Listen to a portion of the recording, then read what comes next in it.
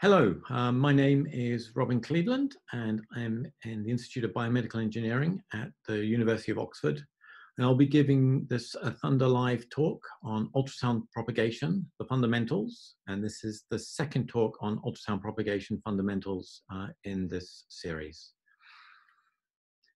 So again, just to recap on the uh, on the motivation for this in therapeutic ultrasound, we typically have a, an ultrasound transducer outside of the body.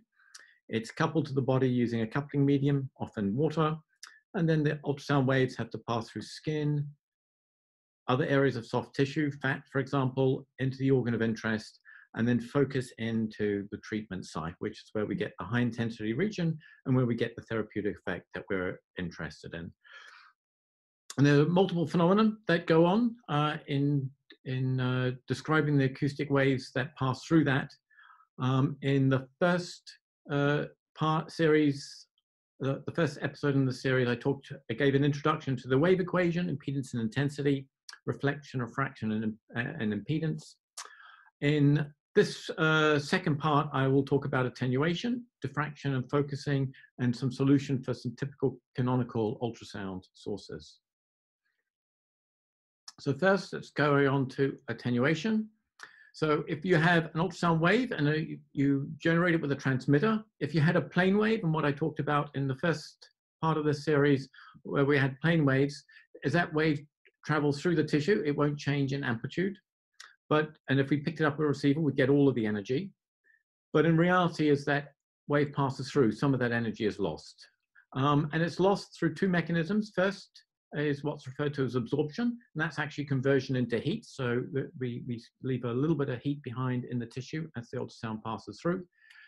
And the second is scattering, because tissue is not homogeneous medium, it's got lots of structures in it, going from organ type structures all the way down to cells and then uh, intercellular components. Those changes in, in properties will result in scattering or reflection, and that will take energy being directed out of the beam elsewhere which will be again perceived as a loss of signal. And together, the, the loss of signal and both absorption and scattering are, are normally added together into what's referred to as attenuation.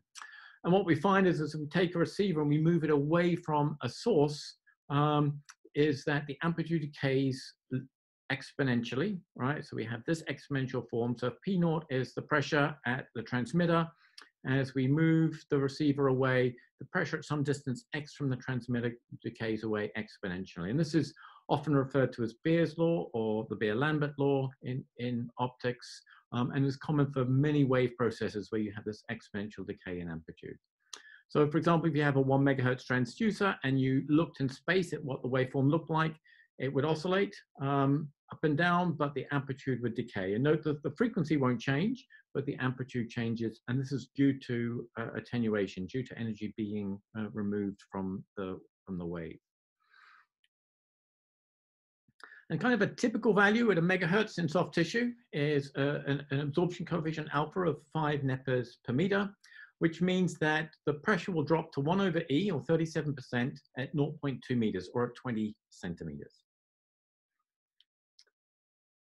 This effect is frequency dependent um, and tissue attenuation increases normally linearly or at least with a power law as, a, as we go through tissue.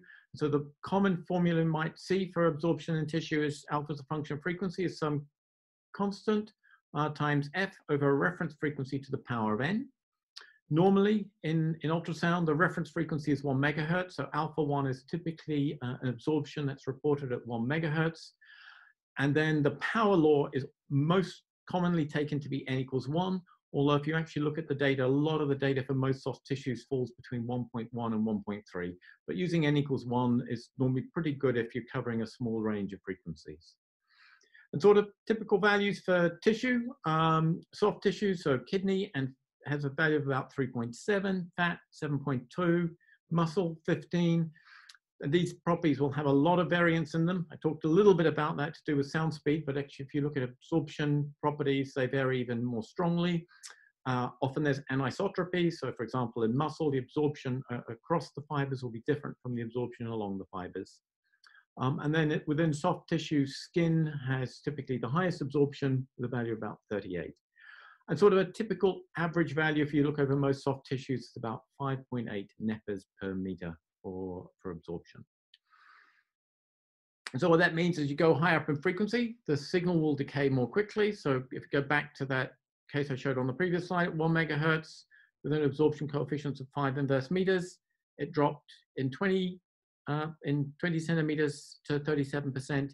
If you increase up to two megahertz, then the alpha will double. Um, and so now the pressure will drop to that 37% in just 10 centimeters and still. And every time you increase the frequency, you're going to mean that the, the signal is going to be absorbed in a shorter and shorter distance. And for the imaging, this, this is a, a limit on how far we can deep we can penetrate inside the body. High frequencies normally give a better image, but they don't allow us to go very deep into the body because the energy is absorbed. And in therapeutic ultrasound, the trade-off is that energy that's being absorbed actually can be used into heating, but if we absorb all the energy before the target site, then we can't get any effect that, that we'd like. Um, in soft tissue, so the units that I've used so far are nepers per meter, which is useful if you're using this exponential form. Um, and that's normally what I prefer. So that uh, attenuation coefficient I normally talk about is, is in terms of nepers per meter. Nepers is a dimensionless unit, kind of similar to, to radians, if you like. Um, and so this, this product up here then will be dimensionless, and, and you can then calculate the, the, the pressure at any other distance. But often you'll see in ultrasound attenuation is actually given in units of decibels per centimeter. Um, and that comes from the idea of measuring an insertion loss. And insertion losses are typically measured in terms of decibels. So uh, a decibel is de determined, is defined as 10 times a log base 10 of a ratio of intensities or powers. So the insertion loss then is 10 times log 10 of the acoustic intensity at a distance x divided by the acoustic intensity at the source. And if you recall from the previous lecture, the intensity goes as the pressure squared. So if we put pressures in here, the squared comes outside to give us a 20 outside. That's 20 times the log of the ratio of the pressures. And then if we say that the pressure follows this exponential form, then we can get that the insertion loss is alpha times distance x times 20 log 10 of. And so the attenuation in, uh, that you can get in dB per centimeter is this insertion loss divided by x to get rid of the x, it's this term here. And that turns out to be 20 log 10 of E times the alpha that was appeared in this form here. So alpha bar in dB per centimeter is related to alpha in nepers per meter using this formula here, where the 20 log 10 E is the factor that gets you from one to the other. So if you put the numbers into that, it turns out that one neper per meter is a 0.0868 uh, dB per centimeter. So that's a good conversion factor to use. Um, and if we look at an example of that, for example, the average value I gave at one megahertz for tissue is at 5.8 nepers per meter. So if we multiply that by this scaling factor of 0.08686 uh, dB per centimeter per neper meter, then that comes out to about half a dB per centimeter. So roughly absorption in tissue at one megahertz, about five or six nepers per meter, about half a dB per centimeter. Now, when you have uh, attenuation, uh, we often have dispersion as well. And so dispersion refers to the fact that different frequencies travel at slightly different uh, velocities or, or, different sound speeds. Um, and the, the relationship that can be used to determine that is what's referred to as the Kramers-Kronig relation. And so if you assume that your system is causal, so no output happens before an input goes in, then actually means that attenuation and dispersion are not independent of each other. They're actually linked to each other. Um, and there are two papers uh, in here where this has been shown for a, this power law uh, form of, uh, of attenuation. You can then calculate what the sound speed is. Um, in general, for n not equal to 1, then it, the expression takes this form here. For the special case when n equals 1, the attenuation take the sound speed uh, as a function of frequency takes uh, this form here. And for the case when n equals 2, there's actually turns out that there's no dispersion. The n equals 2 case is common for things like water, uh, very simple fluids, um, and so those tend to be dispersion free. So all the different frequencies travel at uh, different, uh, at the same uh, velocity. But for things like soft tissue, then you will actually have variations in sound speed. And so if we look at the n equals one case, what that means, so this is, I'm plotting here as a function of frequency. This is one megahertz here. 10 megahertz on the right-hand side, and 100 kilohertz down here. I've set them all to be at 1540, which was our sort of average sound speed at one megahertz. And then depending on the strength of the attenuation, the dispersion will vary. So if you're at 0.3 D, uh, 0.3 dB per centimeter, so it's a little less than the average soft tissue, then you get about a two meter per second change over this two orders of magnitude. And to start getting significant changes in sound speed, you really need to have much higher attenuation. So the effect is there. In many cases, it's small, but for some important cases, that may you. So, so in cases where you're very worried about slight changes in in in the in the sound speed, these these effects could potentially be important. Right, so now we're going to go on to looking at acoustic sources um, and the, the, diffraction that happens uh, when we have them. So most acoustic sources that are used uh, for ultrasound are used piezoelectric sources. Uh, so this is a, a, flat unfocused transducer. It's a piezoelectric disc in here. You put a voltage across it and it changes its thickness. And as you oscillate the voltage, the thickness goes backwards and forwards. And so you actually get a velocity source where at, the, at that piezoelectric material. Uh, on the right here, this is also a piezoelectric transducer. This one here, it's been curved so that it creates a natural focus at the radius of curvature of the curvature of this bulb. And these are the two most common sources that are used in, in, in biomedical ultrasound. Right, and so if you want to calculate the pressure field, if we have a disk here that's moving with a velocity u, um, then you can work out a little area on the surface. We call that xs and, and ys for the source location in this plane.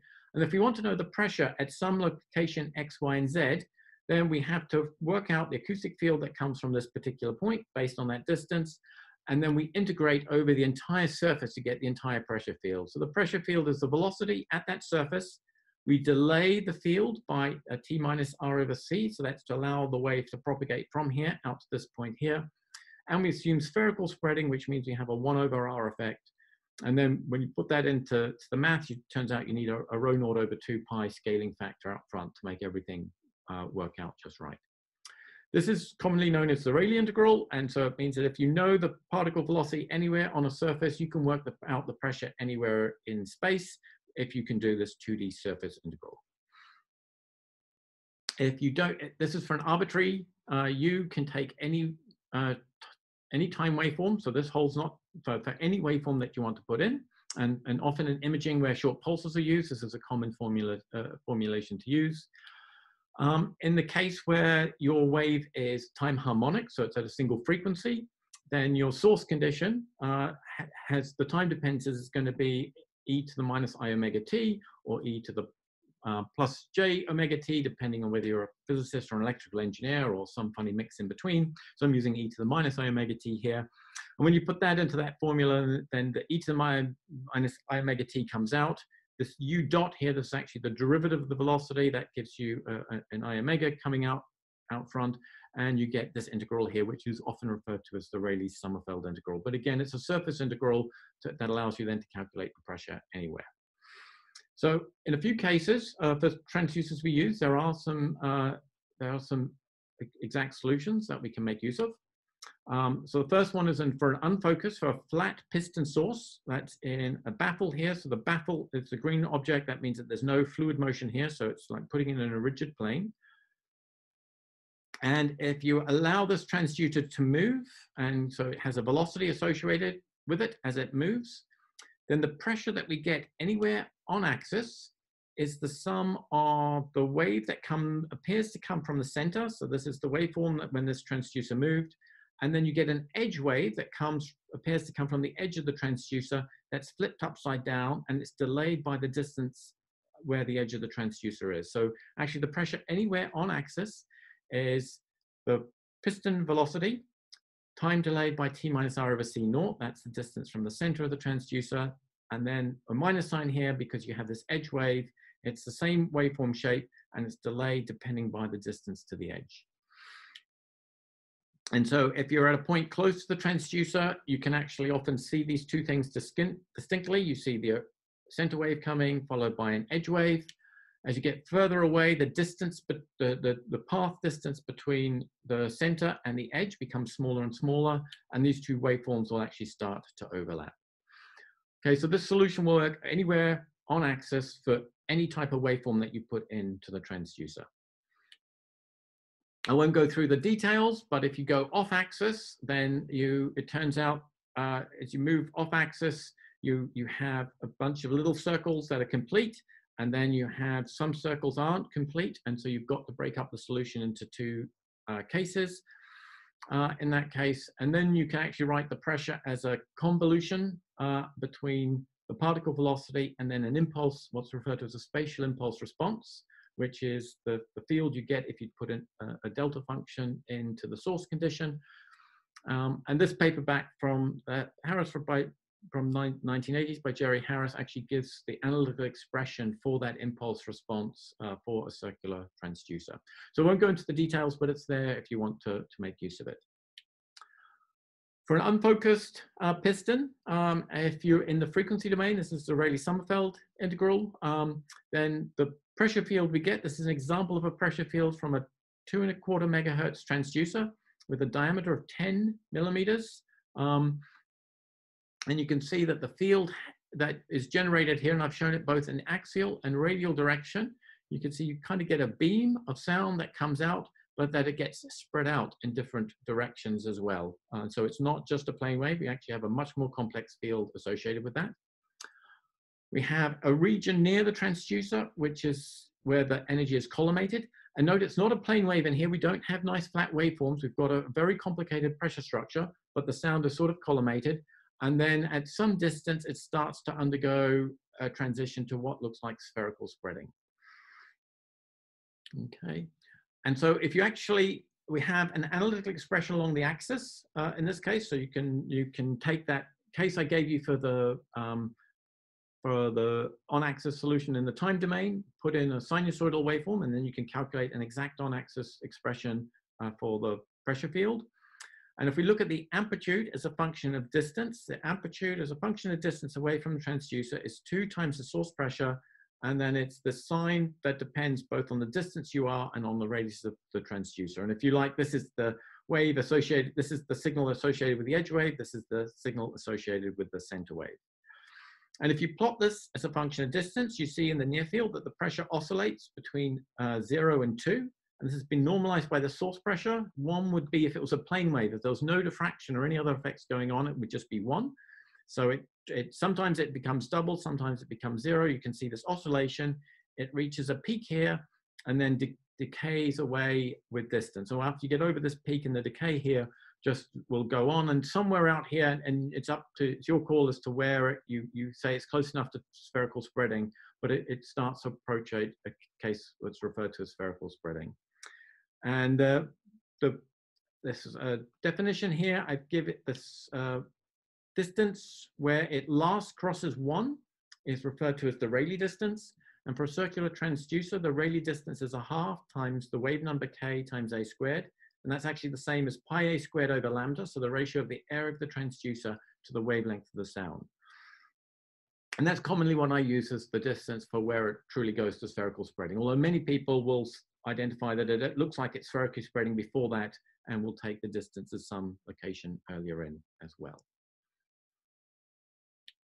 Okay, um, and that solution I gave you there is actually, there's a, a not quite an exact solution for everywhere, but uh, the Rayleigh-Sommerfeld integral can be done off axis, um, and you can turn that 2D surface integral into a 1D uh, line integral, given in this form here, originally published by, by Hutchins in the 1980s, republished uh, in 1999 as well, um, in JASA, which allows to get the field everywhere. And actually those plots I showed you on the previous figure came from uh, putting this into MATLAB and just solving that integral. But in therapeutic ultrasound, we often use focused transducers uh, rather than just uh, the flat surfaces. So the, I showed you that picture of that bowl, which has got a curved surface here and uh, using R sub C as the radius of curvature and it has a radius of the aperture A. So it, it now, rather than having a single number, it has two numbers associated with it, the geometrical uh, focusing area uh, radius and the radius of the, of the aperture. And again, on axis, it turns out there's a solution. It's referred to as the O'Neil solution. It tells us the pressure as a function of distance along the focus here. It's given in this case here, rho naught, C naught, U naught, U naught being the amplitude of the frequency. F is the same as RC. I, uh, sorry, just changed my uh, terminology here. So F, F is the same as RC. Up here, Z is the distance from the back of the transducer, so along this axis here. And R max is the distance from your observation point to where the edge of the transducer is, and it's given by this expression here. Okay, and if you plot the pressure as along the axis when we have a focused transducer, here's an example of one 70 millimeter focal length, frequency of three and a half megahertz, and this one has a radius of 7.5 millimeters or a diameter of 15 millimeters. And I plotted from 20 millimeters away from the back of the transducer out to 120. And so you can see you have some oscillations here. The pressure grows up, reaches a peak. And, uh, and then, and actually, if you notice the peak here, it's about 55 millimeters, right? Even though the radius of curvature was 70. So 70 millimeters here, the pressure's actually dropped down. And so for a focused transducer, this is uh, uh, an effect we commonly see is that the peak pressure actually occurs a little bit in front of where the geometrical focus is. Okay. And then the pressure now has reached, if you remember for an unfocused transducer, you got oscillations up to two. For this, we've got much higher. Um, and actually the focal distance here at 70 millimeters, the pressure was uh, 5.9 times that of the pressure at the source. So this is referred to as having a focusing gain of 5.9 because of that ratio. And actually turns out if you look at the O'Neil solution, you can, you can calculate what the, the, the pressure is at the focus on that solution. Uh, and it's related to the source condition times this G. And when you do the algebra on it, then the focusing gain is the Rayleigh distance for that transducer, if it was an unfocused transducer, divided by the radius of curvature. And so the gain of our transducer depends on this ratio of the Rayleigh distance of the transducer to the radius of curvature that you use. And so uh, it's going to depend on things like the aperture. So if I, for example, if I increase the aperture from 7.5 millimeters out to 15 millimeters, then I will have uh, doubled the radius, I get four times the gain. And so now this is the pressure, and this again going from 20 to 120 millimeters. We see many more oscillations now in the near field, and now the pressure building up to a value that's almost uh, that's almost 25 uh, in and around the focus. And you can say, see now that the peak has shifted, it has got quite close to 70 millimeters. Here it was more like 55, and here it was 70. And you can actually, the formula, the approximate formula for where the maximum occurs is at the radius of curvature and then 1 minus 12 over g squared. Um, so it depends on the gain. In the case here where the gain was about 6, that means you get 1 minus 12 over 36. So it's at about two thirds of the focal length, which is at 55 millimeters. By the time you get to a gain of about 24, this effect becomes quite small and it's almost right here at the radius of curvature. And if we go up again in size, so now go up to 20 millimeters, now I've got the gain up to about 42. And we have a nice high peak here, almost right on at 70 millimeters. We've got this nice near field in here. We've now got a very tight focus. And so by changing the size of the transducer, we've managed to get a much higher gain going from six up to 42. And if you could see the focal spot here, which was quite, if you take the focal spot as where the half pressure points are, it's quite large. It covered here more, more than about 80 millimeters or so. Here we've been able to reduce the, the focal spot size down to about 20 millimeters. So larger transducers uh, tend give us much tighter focal spots um, for, for a focused transducer. And in reality, what we want, if you want a highly focused transducer, we want the gain to be large. Normally, the radius of curvature we don't have a lot of control over because that's going to be at the depth at which we're trying to treat. So that will depend on where our target location is. So the two things we have to play with are the frequency, which changes K, and the aperture size that changes A. And if you want a large gain, you want to have a Rayleigh distance much bigger than radius of curvature. You want to have the largest radius A that you can possibly have and the highest frequency that will allow you to deliver to the distance that you're interested in as well. So those are the axial fields. Uh, actually, across the field, the, the uh, O'Neil came up with a solution across the field as well. And so if you're in the at the geometrical focus, so it's not at the peak pressure, but that where the geometrical focus occurs, then the pressure as a function of y, that's the off-axis distance here, it goes as J1 of KAY over RC over KAY over 2RC, where J1 is the Bessel function of the first order. And so if we plot for the for two of the cases I showed previously, again, this is the 70 millimeter transducer at three and a half megahertz. For a 7.5 millimeter diameter radius transducer, then we have this high on-axis pressure, and then it decays away with uh, J1x over, over half x. And by about, you get a null at about two millimeters, and then we get some little side lobes, some little wobbles on the side out beyond that. If you change to 15 millimeters, and it looks almost the same, but if you notice down on the bottom here, the horizontal axis has gone from 10 millimeters here to five millimeters here, so we've actually squished the field in. So by getting a higher, by making a higher trans, uh, sized transducer, we got a better focusing gain, and we got that by actually squishing the focus in laterally to, that is what gave us that higher pressure. So uh, those, those formulas for, from O'Neil you can actually use to approximate the length and the width of the focal zone that's created by a focusing transducer. The axial length is seven times the wavelength times the ratio of the focal length to the diameter of the transducer squared. And the width of the transducer up and down of the focal length, sorry, is proportional to the wavelength times f over d. Right, and so by changing the wavelength, you can change both of these things. And by changing f over d, right, you can, uh, again, you also are ability, you, that also gives you ability to create a tighter focus. So tight focus, you want to have a small wavelength, high frequency, and you also want to have a diameter of the transducer much bigger than the focal length. And in reality, for most therapeutic transducers, F over D is about one because that's for most focal length, it's about the size of transducer you can get where you have acoustic windows into the body. And so for example, for a typical therapeutic ultrasound transducer, for example, a research one that I showed you uh, on the first slide, has a frequency of around a megahertz, a diameter of about 64 millimeters, and a focal length of 63 millimeters. And that means based on this formula here, you'd get an axial length, you'd create a focal spot that's about 10 millimeters long and about one and a half millimeters wide, which is typically what we see for, for, for many applications in therapeutic ultrasound, right? And that's actually controlled by the diffraction associated with the wave propagation from a focus source.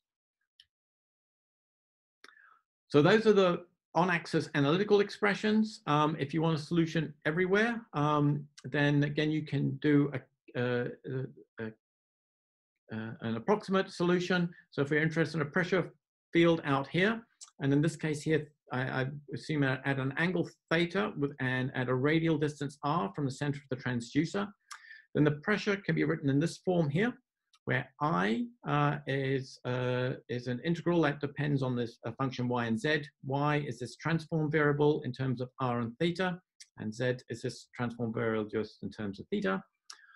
And then I itself uh, is actually, can be expressed as a sum of Bessel functions. So I takes this form here, it's got real and imaginary parts, and each of these things here are sums of Bessel functions. And as you, this, uh, the series actually converges quite nicely. Um, and in the paper here by Chen Schwarz and Parker, they talk about it in detail. Um, and so you can add this up to create the uh, pressure field uh, anywhere from a focus piston transducer as well. All right, so that's the end of this uh, uh, second talk on the fundamentals of ultrasound propagation. Just to recap, uh, absorption um, acts to remove energy from the sound field, and it does it, that is what converts stuff into heat. Uh, in tissue, the absorption typically increases linearly with frequency to a good approximation. And when we have absorption present, then we also also have dispersion where it means that the sound speed will change as a function of frequency, although for many applications that effect can be small. For the piston sources that are typically used as ultrasound transducers, uh, we use the Rayleigh integral to describe the pressure field that comes out from that. Um, and we have some closed forms expressions for flat or unfocused transducers, both on axis uh, uh, both in the, the, time domain and in the frequency domain, and then approximations that we can use uh, to, to go off axis. For focus transducers, uh, it's similar. We have analytical expressions on axis and in the focal plane, so we can get estimates of the size of the focal spot that comes out of a transducer, and then expressions in terms of sums of Bessel functions to get the field everywhere. So Uh, thank you for your attention. I hope that was helpful and uh, I would be happy to answer any questions that come in through the ThUNDDAR website. Thank you very much.